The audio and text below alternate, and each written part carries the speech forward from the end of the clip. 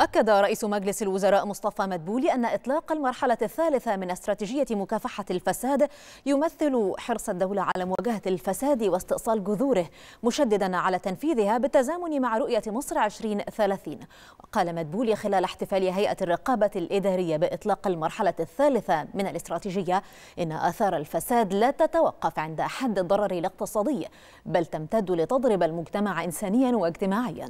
وأضاف مدبولي أن جهود مكافحة الفساد تحظى بدعم قيادة سياسية تسعى إلى محاربة جميع أشكال الفساد وصوره وأنها وضعت تصورا شاملا ومتكاملا لمكافحة الفساد مشيرا إلى أن تطوير المؤشر العام للفساد الإداري وجهود مكافحته وإحدى ثمار التعاون بين هيئة الرقابة الإدارية ورئاسة الوزراء